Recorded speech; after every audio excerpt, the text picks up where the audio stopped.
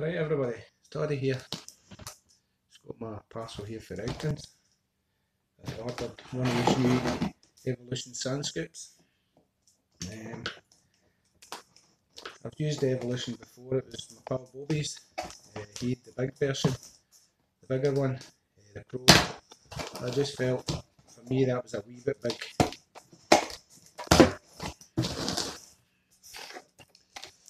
So sand scoops are must if you want to do beaches because it's hard work with a spade because it keeps filling up with water you try to get behind it. There you go.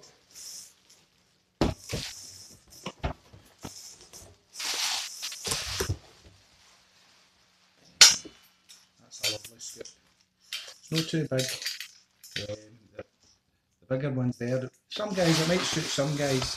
Um, I feel that size suits, suits me better. I had a go with Jim Solas, he's got one. Um, this size. And Bobby's got the bigger one.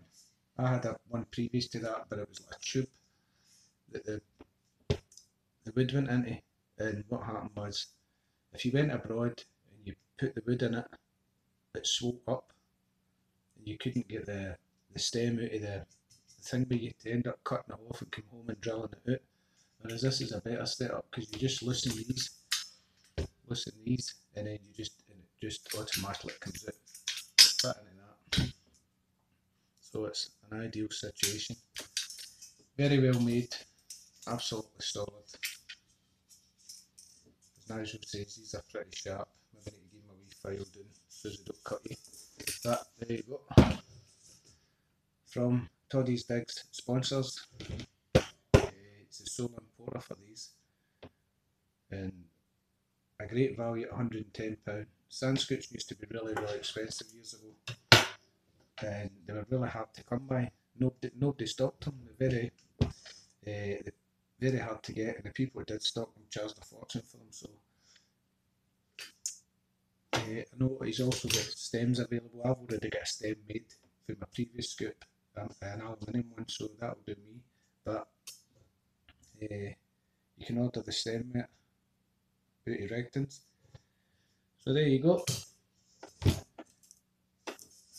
Ideal for the beach, whether you're in the UK or going abroad. And it's light enough when you're packing it when you go abroad. Put it in your case, wrap it in bubble wrap. That's what I do.